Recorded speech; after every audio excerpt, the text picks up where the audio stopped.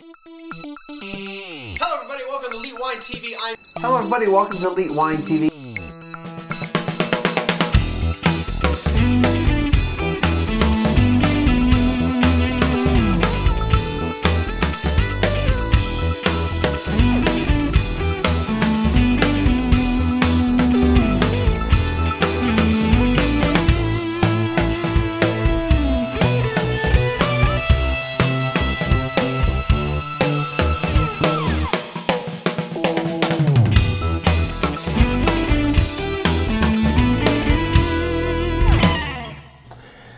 Everybody. Welcome to Elite Wine TV. I'm your host, Mark Fusco, here for another episode of the show. We're still counting down to episode 300. If you don't know that already. So, uh, this is episode 296, 96, 97, 98, 99. So, four more episodes. Then the fifth episode, episode 300. Uh, there'll be links here, blah, blah, blah. On the website, there'll be links to get to the Eventbrite and to the Justin TV, but I'll have the links here too in case you're not watching or going to the website, watching on TiVo. TiVo people, um, this is really weird. Uh, I went to check my TiVo stats today, and uh, apparently episodes, I don't know, 292 and 293 uh, weren't showing up, and then I go to Blip and they're private. I don't know, but 292 had a bunch of views from TiVo, 293 didn't they're not showing up on the TiVo list. I don't know what happened, but um, hopefully everything's been squared away by the time this video gets posted. Um, I've just released 294 today on the website. 295 goes up in another week from today, uh, today being March 31st. Uh, and I'm recording the next four episodes um, because March, I'm sorry, April 28th is episode 300. And I'm going back to. Uh, going back to Houston for the rest of my training tomorrow. I had to come back in town today for some stuff. Um, so that's why I went ahead and just decided to record the other four today. And um, so, yeah, the uh, next four, uh, recording the next four today. So, what you're going to have happen is uh, 290. Uh, this is 296, so you have an episode today, then there'll be an episode Thursday, then next week there'll be an episode on Monday, an episode Thursday, and then you know what happens? It's April 28th! Snoochie Boochies. All right, so uh, that will be um, that'll be episode 300. I've already wasted two minutes of the intro. So let's get going on. Uh, links are already there. So next wine we're doing here is a wine I originally bought for uh, my sommelier study group. Uh, we were tasked to buy a Riesling. It could be from anywhere in the world. So I went to Spec's and I was like, eh, I'll get a Riesling. I was like, let's not go to Germany. Let's not go to Austria. Let's not do Alsace. Um, so outside of that, where am I going to go? So I stumbled upon an Australian Riesling. So um, I've had this wine for quite a while in the house, um, probably for at least a year, maybe a little longer, because I'm thinking it was it was a little over a year ago that we were tasked to do this, and uh, then we just kind of stopped meeting, which that's all right. Uh, kind of bummed about that. We're trying to get it back together. I know my schedule with all the training and everything has been not conducive to it, but hopefully when I get back in town on a permanent basis, we can do it. All right, so what wine is this? So this is the Jim Barry, the Lodge Hill Dry Riesling 2008. So we're talking six year old, it's actually six and a half year old wine because they harvested it in February of 2008.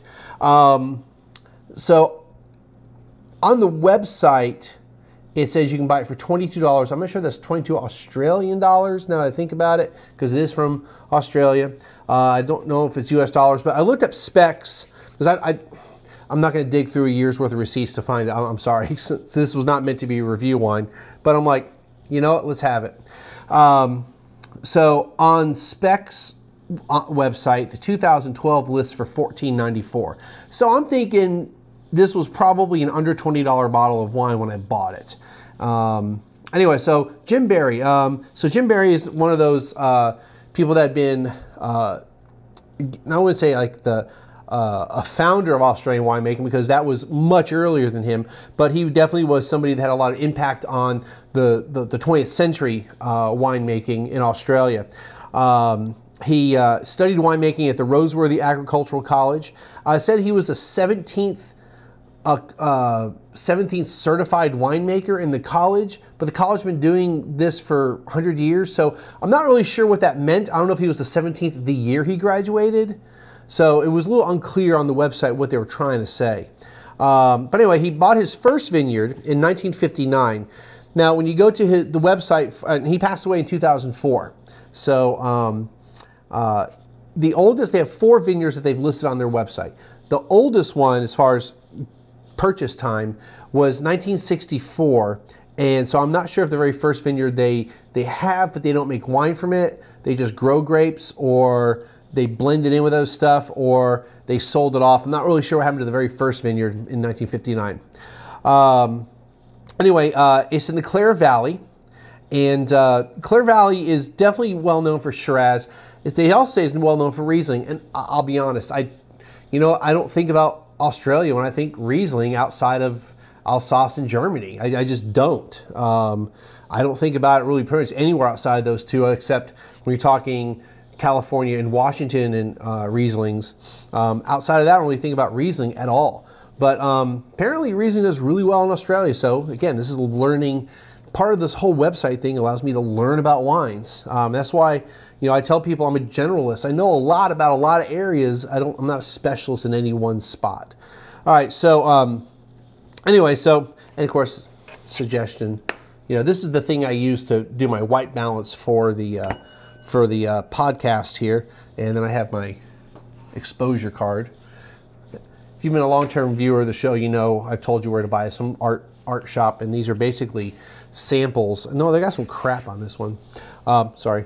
Um, these are basically like paint samples, but these are as close. These are really close, especially the gray one. You get the 18% gray for exposure. Anyway, um, if you really want to know where to get them, email me, mark at 1337wine.com. Pretty simple.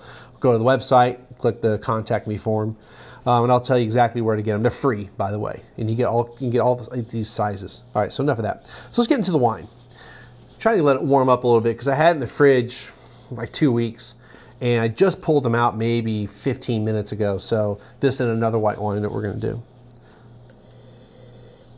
All right, so right off the bat, um, I'm getting,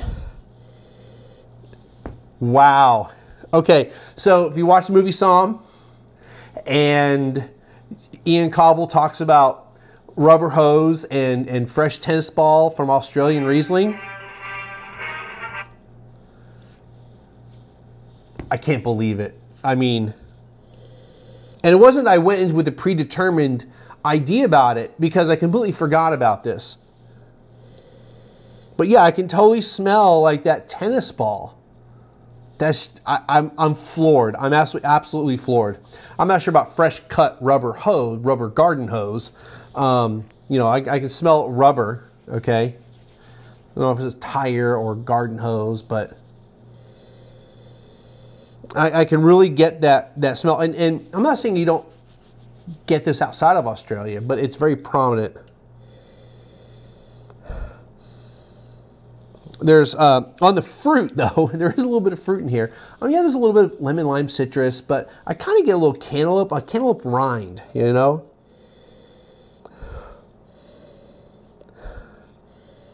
If I get any floral, it's probably generic white flowers someday I'll, I'll go to the flower shop and really, really like delve deep into smelling some flowers here. But yeah, I mean, there's definitely a, a um, an artificial smell, like a like a you know, I don't want to say chemical because that makes it sound like it's a bad smell, but definitely like that. I mean, the, the tennis ball is a really good description. Rubber hose is a good description. Um, clean is a good description. Um, I wouldn't say like hospital or dentist office. Well, really not dentist office because that, that's really more like nitrous. But um, you know, like almost, you know what? It's almost like you walk into a room that's been freshly painted. That's another good descriptor for it too. Just like new construction. Yeah, like fresh drywall. Like when you walk into a house that's still being constructed, so there's, I wouldn't say like the wood, but like that drywall, almost that kind of fresh drywall and paint type of smell, very much like that. I kind of want to keep smelling it, but we got to move along because I'm running short on time.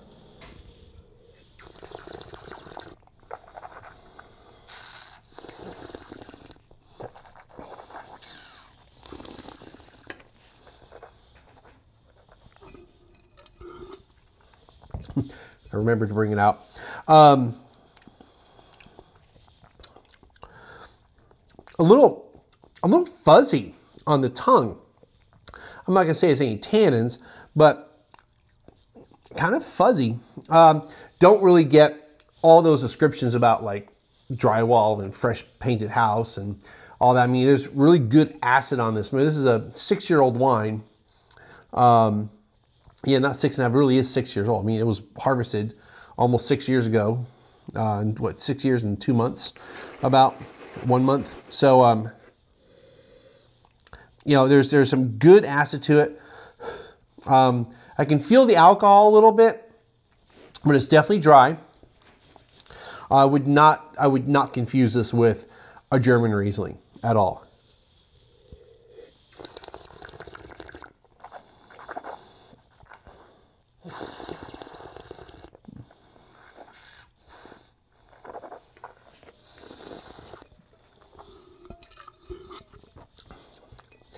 I mean, I guess I get a little bit more, we still get that fuzziness out of it. I get a little bit more of that, um, I kind of get maybe that tennis ball, that rubber, that rubber type of thing. Not quite petrol um, or chemical, that, that chemical stuff, but very, very acidic. Like it's that this acid is high, very high. Um, really, really lime and lemon just coming through on this. Um, I, I, didn't really look hard at the, um, they talk about grapefruit, orange blossom, lemon and lime juice. And that really, I think that really gets it. And that's on the that's on the nose, they say. But uh, minerality, I don't get guava, strawberry. I don't know what rose water is. Never tried rose water. I don't get anything strawberry or guava like. I haven't had a guava in a long time, so I'd have to revisit that. But you know what? It is definitely a dry, dry white wine. Really good on the acid. Um, my mouth's watering. Uh, kind of fuzzy. So that's kind of interesting. Um, yeah, I mean, you know, like I get, like I said, I get that cantaloupe rind. Um, you know, I think it's drinking really well for a six-year-old white wine. You know, not not that you know white wines have to be drunk at one or two or three years, but this is if you didn't know any better, you weren't really trying to evaluate the wine, you'd think it was a recent vintage.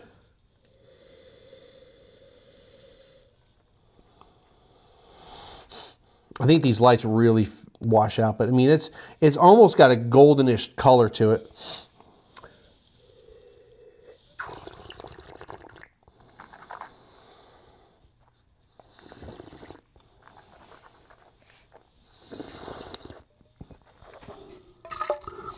And that's say lime more than anything else. Lime, lime, lime. All, all, all about the lime on that. Pretty good. I mean, 15 to $20 US.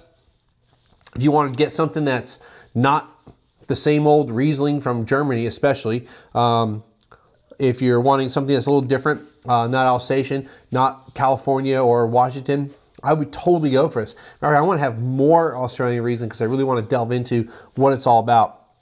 I like it. Definitely recommend buying it. All right, so uh, that's going to wrap it up for today's show. Um, as always, I want to thank you for stopping by. Click the links above to friend me up. Hit that donate button over there. Send me a few ducats to buy some more amazing wine. Oh, I look over there. You can't even see the bottles. At least this time you can't. Sometimes you can see like the little edge of the bottles. Um, but uh, send a few ducats. Again, uh, I'll have links below at the website. Uh, I've already put them on the. I've already put them in the lower third uh, for the my Justin.tv feed for episode 300, and for the Eventbrite. If you're going to be in town, don't sign up if you're not going to be in town.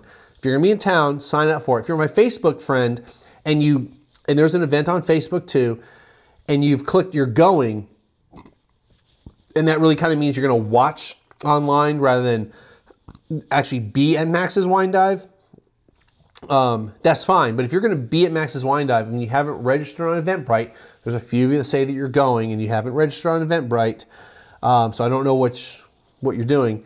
please make sure you register on Eventbrite. Uh, as of March 31st, we're about halfway sold out. Um, remember, I have a very small room, so I can't put a lot of people in there. So halfway sold out isn't really a lot of people, but it's a good crowd. So everybody actually does show up. So uh, please do that, and um, that's going to do it for this show. Um, thank you for stopping by, and we will see everybody again next time.